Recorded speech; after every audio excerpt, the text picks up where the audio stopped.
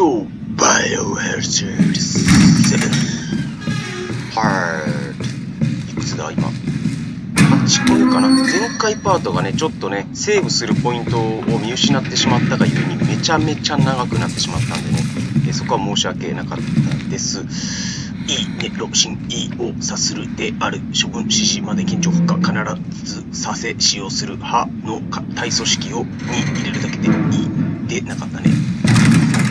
で、えっと、前回までは、えっと、ミヤの、まあ、過去を探っていくという、まあ、そういう感じのお話でした。で、今回はまた現代中華、えっと、元に戻ってきて、で、配線を、まあ、探っていくという、そういうパートになります。なんかあるかな？薬液。うん。ということでね、えー、例のごとく3パート、えっ、ー、と、2パート前から始めています。壊れているようだ。あ、こちら PC ですね。えっ、と、ほい。質問に答えていくコーナーやっていこうと思います。はい。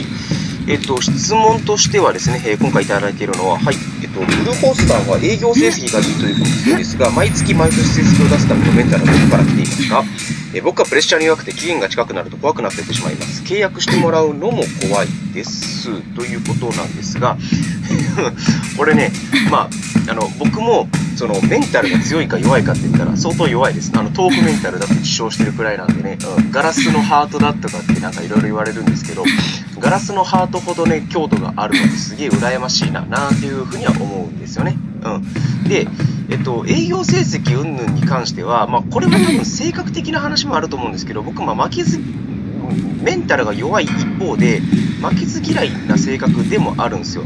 だから、こう、なんか誰かより成績が悪いのっていうのが、まあ、許せないっていうのが一つあるんですよね。だから、何が何でも、あの、営業成績トップ取ってやろうっていう気持ちはあります。そうですね。これは4回、あれ？これ今、ミヤがいるところなんじゃね？ミヤがいるところなのにミヤが映ってない。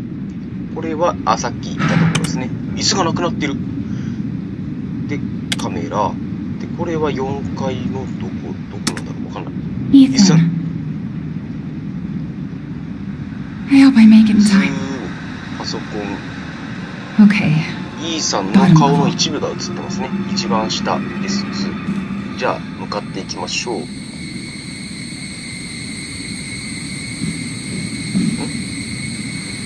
し。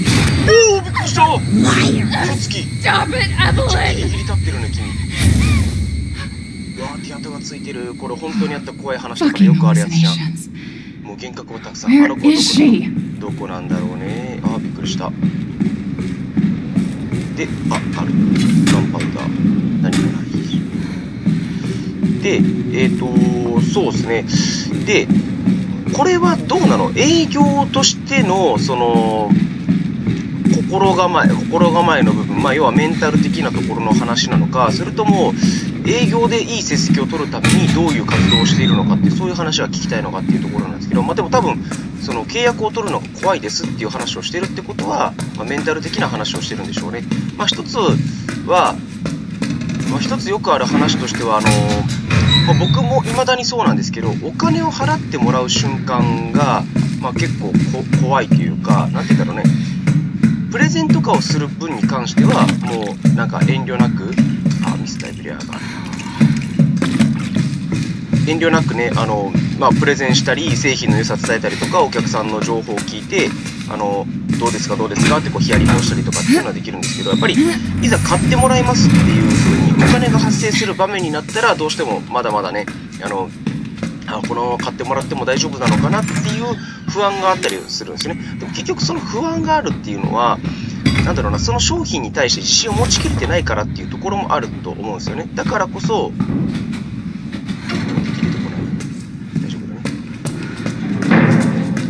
こそこう自信を持って自分のところの製品を買ってもらったらお客さんは幸せになるんだとか、それからまあ、今よ今よりももっと仕事の生産性が上がるんだとかねあの家族から褒めてもらえるんだとかパパかっこいいって言ってもらえるとかねそういう状況になれるということを信じて、まあ、話を進めていってあげるっていうのはすごく大事なんじゃないかなと思うんですよね。だから結局ケーブルが焼け医務室ワデル先生。はい。ドウェイン、ウェイドですね。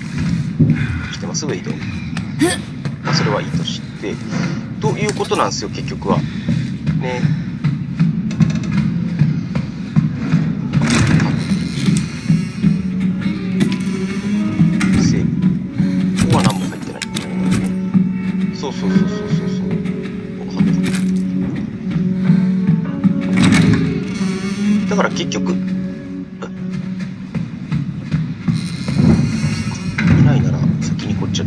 だから結局ね、あの、営業をするそのメンタルがないっていうのは、買ってもらえないっていうその恐怖もありつつも、あの、なんて言ったらいいんだろうな、自分がその、なんか断られた時が怖いっていうね、まあ、そういう心持ち、まあ、言い訳ですよね、ある種ね。をしてるんじゃないかなっていうふうには思っちゃいますけどね。うん、すげえ適当に進んできてるんだけど大丈夫かな？ああ、これはなんとなく覚えてる。これはね、絵を、3回、えっ、と、2回。こうするかなこれ3回。で、これは2回かな。ですね。ピッテイ。金属妖怪機めっちゃ手に入った。ただ、ここから敵出てこない。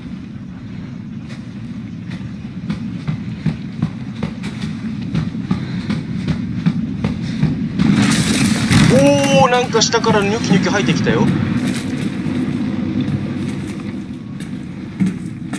あれ？消えたよ。怖えー！びっくりした。閉めた閉めた。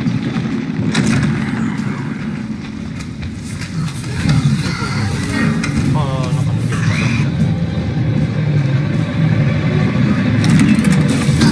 おお落ちてきた。おはようございます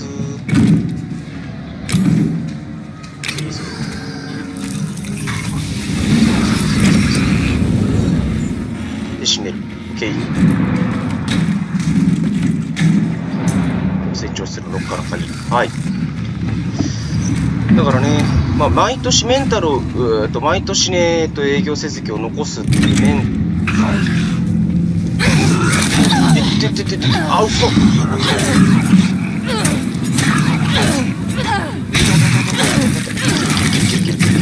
何してん何してん何してん何しんそういうことをしていいのはイーさんだけですからね。はい。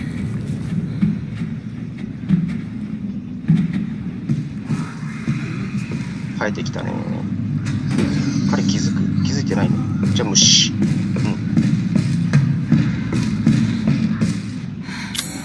ちょちょちょえっ、ー、と、あ、こっちじゃ、こっちじゃないな。こっちじゃなくて、えっ、ー、と、ほい。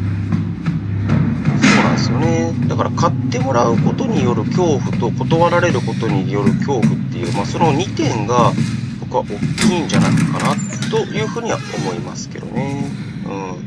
うん。そのあたりを、だって、例えば、自分自身がなんかこう物を買うときに、なんて言ったらいいんだろうな、あのー自分で選んだって思って買ったとしたら、あれここは椅子はどうなんだろう自分で選んで買ったと思ったら、その、なんて言うんだろう、対して、なんか、お金払って買うことに対して、なんか嫌な気持ちになることって、まあ多分ないじゃないですか。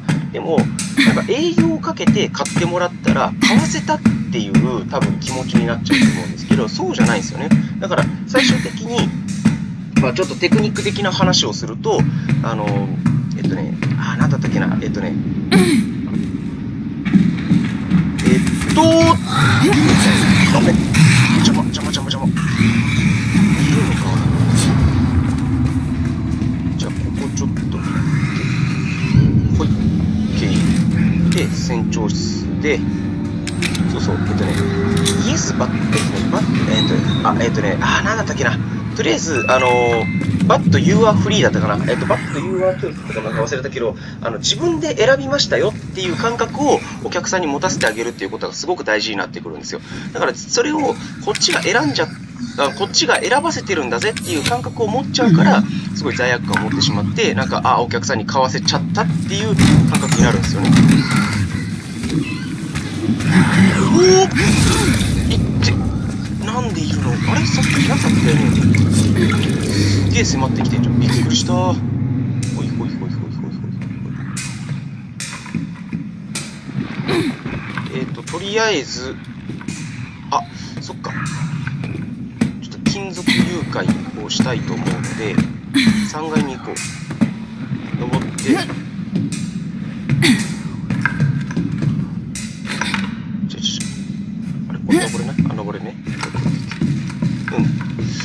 そうそうそうそう。だから、まあ、一つ、その、傷つくのが怖いっていうのであれば、あのお客さんにこれ買ってください、これ買ってあ、あれ買ってくださいっていうことを、こう、なんか迫るっていう営業ではなくって、最終的に選択するのはあなたですよっていう、その感覚を持たせてあげるっていうことがすごい大事だと思います。うんだからそういう営業の方法っていうのをま身につけてやってみることで、まあ、自分も傷つくことなく、相手も傷つけることなくっていう、まあ、可愛い方、可愛い方、まあ、えっと、営業の仕方っていうのが、ま、できるようになるんじゃないかなっていうふうには思いますね。はい、そのあたりじゃないかなと思いますよ。だってね、結局ね、いらないものね、買わされたってね、仕方ないですからね。うん。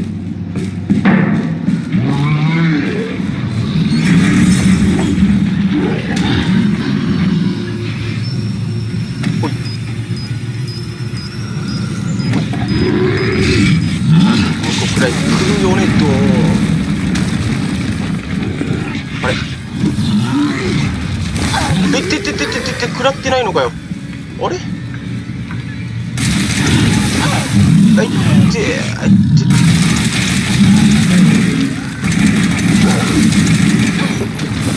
危ない危ない危ない。この、パッ、パッ、パッとモール、パッとモール。あー、やべえやべえやべえ、焼け焦げる焼け焦げる。やばい、一旦、一旦、一旦、一旦退避、一旦退避、一旦退避、一旦退避。ほい。下がる。あれ、爆発食らってなかったのか。オッケー、もう、もうなくなりになったでしょ。オッケーオッケーオッケーオッケー。よしよしよしよしよしよし。いやー、2個使っちゃった。じゃあ3つも使っちゃったね。もったいねー。しかも、多分あの爆発使うんだったらこれ使わなくても済んだかもしれないね。ガッテン。金属溶解液。こっちは？こっちはいけないのか。そっか。じゃあこっちに逃げて、逃げ込んでたとしたらアウトだったってことですね。うん。えーと、それからもう一つが、なんだったっけ？えっ、と、結構ね、質問来てるんですよ。えっ、と、あといくつだ ?1、2、3、4、5、6個かなはい。えっ、と、プレ、えっ、と、これ、えっ、とね、次来てるご質問がこちらですね。えっと、プレゼントか人前で話をするときに緊張してしまいますと、その緊張に打ち勝つためにはどうしたらいいですか？うん、これに関しては、まあ、いくつか、まあ、その、なんか段階を追うっていう必要があって、まず一つは、なんだろうね、もうとにかく、場数踏んでくださいっていうのが1点ですね。うん。なんかその、緊張しない人たち、いや、だってね、緊張しちゃう人たちって、あの、個人的な感覚なんですけど、圧倒的に、あの、経験不足なんですよ。それはまず間違いなく言えます。で、なんでそういうことがえっと起こるかというと、当然その傷つくのが怖いとかっていうのがあるわけなんですが、あるわけなんですが、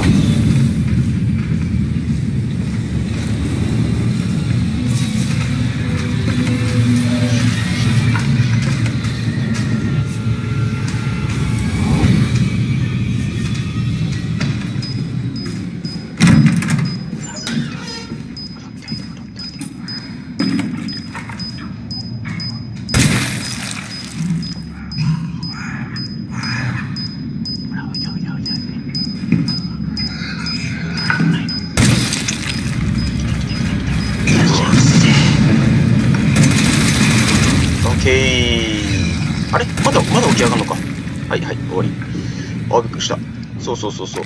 えっと、なんだろうな、例えばテストで点を取りたいですっていう、まあ、課題を抱えている人がいたとして、で、あの、テストであの点を取りたい、じゃあ、勉強一生懸命頑張ろうねっていう話をしたんですけど、えっと、じゃあ実際どのくらいテストしたの？あえっと、じゃあどのくらいのその勉強したのって言ったら結構ね、そもそもの量が足りていないっていうケースが多かったりするんですよ。うん。で、えっと、逆にテストでめちゃくちゃいい点数が取れている人たちの勉強量と、まあ、比較すると単純にまずその勉強しているそもそもの時間っていうのが、まあ、大きな違いがあるよねっていう話がまあ結構あったりしますね。だから一生懸命勉強したんすよっていう割には、えー1時間2時間しかやってないと。1時間2時間で、ね、あの何科目分のテストが満点取れるかって言ったら絶対そんなわけいかないんですよ。うん、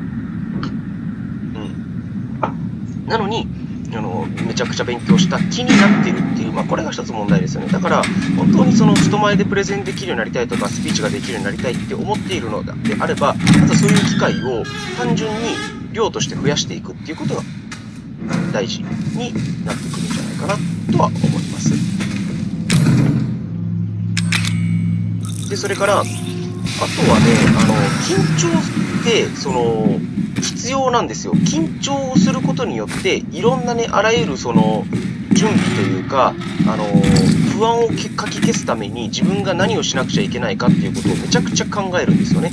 だから原稿を用意しなくちゃいけないとかそれからなんだろうなあの身振り手振りを練習しなくちゃいけないとかっていうことをこういろいろと結構考えたりするようになるんですよ。それをあの緊張しないであの、まあ、なんとかなるなんとかなるってねそのメンタル的にはもしかしたらすごくいい考え方なのかもしれないんですけどそうしてしまうことによってやっぱりねあのすごい中途半端っていうか準備が適当になっちゃうのでそれはよろしくないと。うんだから不安があることによって念入りな準備、失敗をしなくても済むようにっていう念入りな準備っていうのをいろいろすることができる、まあ、あの、メンタリティが身につくというところになりますので、まあ、そのあたりっていうのはすごくね、あの、必要になるんじゃないかなというふうには思うんですよね。おやべやべやべ、見つかった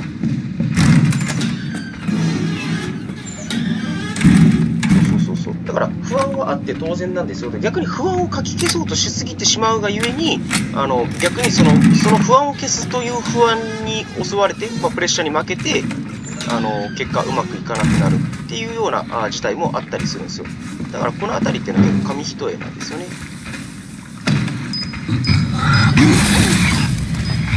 あ、ちょちょちょ、あるあるあれ？あ、間違えたボタンミスったずっと、え？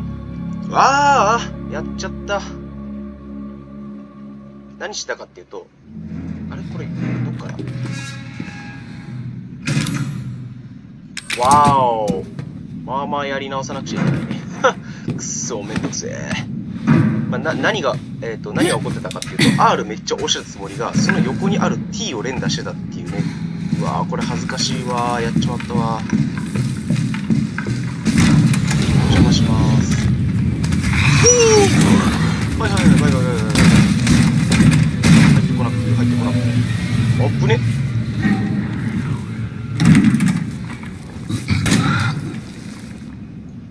消えるんかい。いや消えるのは良くないな。消えるのは良くない。うん。次どこにどう出てくるかがわからないからな。うわ。モールデッドの恐怖ってそういうところがあるんだよな。もなんだかんだでボタンをミスったせいもあって、えー10回いっちゃったね。10回目のデッドいっちゃいました。ね情けない。まあいいや。そういうこともある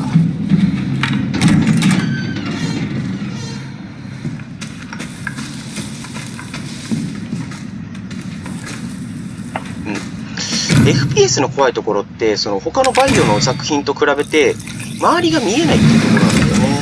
やっぱ360度カメラになってないからいつ敵がどこからどう襲ってくるかっていうのがもうなかなかわからないっていう点はすげえ怖いんだよね。ああとそうそうそう。あとねえっとそれからさっきのあの人前で話すその緊張云々っていう話に戻っていくとあの緊張はあって当たり前だっていうそのことを許してあげるっていうことがまあ大事になってくるかなというふうには思います。あのー、緊張しちゃいけないって人って思いがちなんですけど、逆に緊張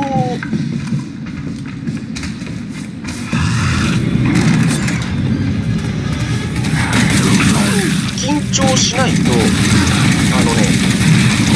まいパフォーマンスは取れないっていう、まあ、話を今したところなんですが、その緊張してもいいよっていう、その許し自分を許してあげるっていうことが大事なんですよね。それを結構しない人っていうのが多いんですよ。なんか緊張すること自体が悪だみたいな、そんな考え方をね、持ってる人も多いんじゃないかなっていうふうには思うんですけど、緊張はむしろした方がいいですっていうことなんですよね。うん。あ、ハンドガン。かわいいハンドガン。この辺りは何もないのかな？うん。閉まってる。ここら辺は特に何もなしか。えーと、じゃあ、ちょっと一旦帰りましょう。本当に何もない。OK。じゃあ戻りましょうか。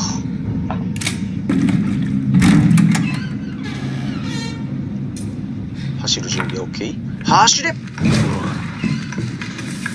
走れ走れ走れ走れあれ走れ走れ走れ走れ。OK 間に合った。来てない。敵来てない。セーフ。OK セーフですね。よかったよかった。そう。だから緊張することはいいことなんですよ。っていうことをまあ自分自身にこう言い聞かせてあげるっていう、まあ、そういう心持ちが持てるかどうかなんですよね。緊張があることで自分はあの高いパフォーマンスを出すために準備をしているんだと。F と R とかそういうそこら辺のボタンの位置がだんだんわからなくなってきて。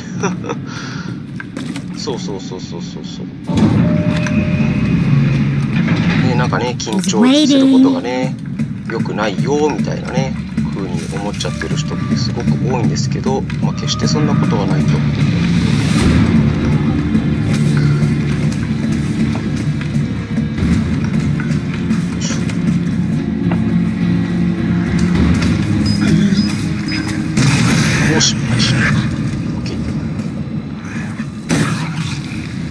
あー、時間差で降りてきやがった。ぴょん。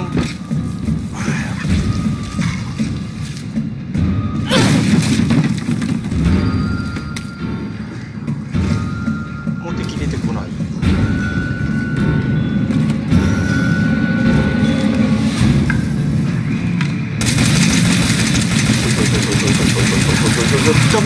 飛びついてくな飛びついてくな飛びつく前にオッケーオッケーオッケーオッケーオッケーまあ僕の場合はねたまたまそのコーチをやったりとか、まあ、それからなんだろうな近づいてきてるコーチをやったりとかあとは締める、えーそれからまああの塾の講師をやったりとかっていうねあの人の前で結構そのプレゼンしたりとか普通に喋らなくちゃいけないっていう機会が多かったっていうのもあってまああのシンプルに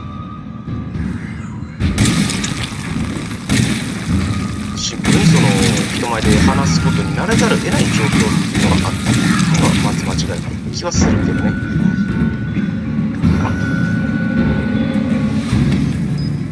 はい、おいであ、いい子やね、こはい。おやすみなさい。そう。だから、まあ、い結局は結論一番最初に言ったものになるんですけど、あのー離れですよね。離れをしなくちゃいけないと。だから圧倒的に、その、緊張しちゃうとか、あの、人前で話すことになれないんですっていう人は、最初に言った通りでもう、あの場数が足りてないっていうことが、まあ、一番に言えるんじゃないかなと思います。だから、とにかく、あのさいきなりじゃあ本番みたいにこう人前で喋ろうぜって言ってもそれはまあ恐ろしく怖いことだと思うんでそうじゃなくってまあ友人とかね家族の前とかでなんかこう自分の好きなことを喋ってみるとか趣味について語ってみるとかそういう経験をまずは積んでみるっていうことがすごく大事だと思います。そうすることによってあのきんあの人前で喋るっていうことにそのうまく喋ろうとかそんなことする必要は一切なくってそうじゃなくてこう喋るっていうこと自体をすることによって、まあ、どういう順序で喋ってどういうなんだろうあの論理で構成して構築して喋っていくのがいいのかっていうのをあの.まあ、自然に学んでいくとそういうことができるんですね。だそのあたりが、まあ、結構なんて言うんだろうなうまく喋ってる喋れてるんだろうかとか相手に伝わってるんだろうかとかそういう不安に思ってしまうことが一番良くないので、まあ、そういう爆発を踏んでいくっていうのを大事にしていってください。おい、心.配しなくていい。傷つけはし.ない。今までずっと自分を抑えられなか.った。What do you mean? どう I'm no 楽し killer, かったわけじゃな son. く殺しかった。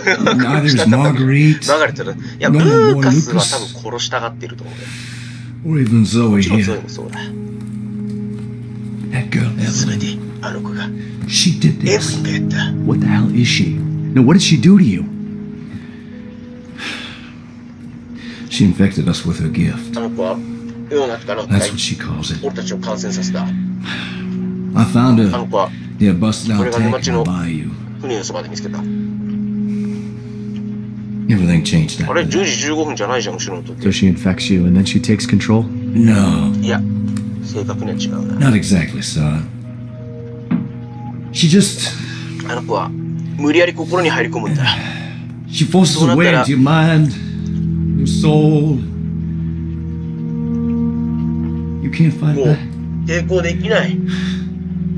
You are connected to her. と繋がると And 自 you 分の感情も抑えられ can't なくなっ resist the て。 urge to.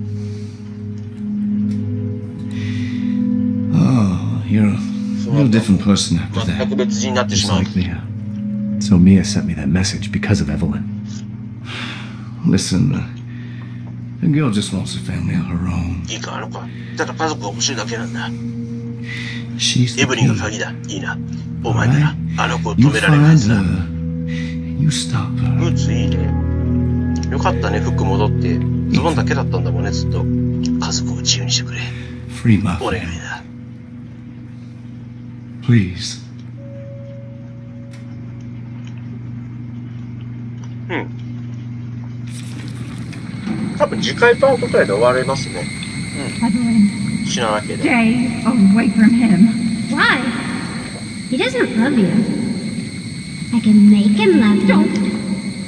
Don't hurt him. 愛させてあげる Silly, I いいね told you やっぱりすごい I'm not gonna ジーニー超えるよね。ジーニーができないことって死者を蘇らせることと、あいあの人のか心を動かすことだからね。ジーニーを超えるって相当すごいと思うよ。Remember??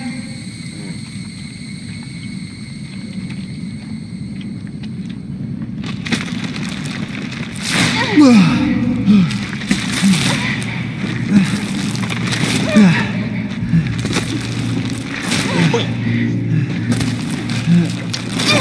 久しぶりです、ミヤちゃん。Mia, how? There's no time. どうしてここに？時間がないの、ここを出て、あなた here の and 子を探して。これを持ってい Take て。いるじゃん、後ろに。その子いるじゃん。まあ、本体見つけ are き you ゃいけない。doing? What are you doing? おーチェーンソーを持ってた時のミヤっちに変わってるっち。後ろからゾンビみ.たいに近づいてきてるよ、大丈夫？No. ちょっと黒いシーンなんでお子様には見せられませんな。うわ Mia! No! ミヤ、さあ行こう。イグジッ Okay, you little bitch. ト、クソガキ。Where the fuck are you? おちょっと待って待って待って。クソガキって言ったらあれだよ。あの、一日飲んだ分のお酒全部出させられ、出すことになっちゃうよ。ああいうせいだわ、どうやったかな。そもそもミヤ、ミヤじゃねえや。誰だっけ？うわぁ、腐ってんだけど、こんだけ魚があったらな。そもそもエブリンってどうやって見つけてこられた子供なんだろうね。魚カッチカチやな。完全にカッチカチ。いつからずっとこうやるのかな。違う違う違う違う、しゃがまないよ。振り返らないよ。登るよ。ほい。さあ、そこのね、箱のとこ、あしまった、ミスターエブリウェア壊すの忘れてたな。まあ、いっか。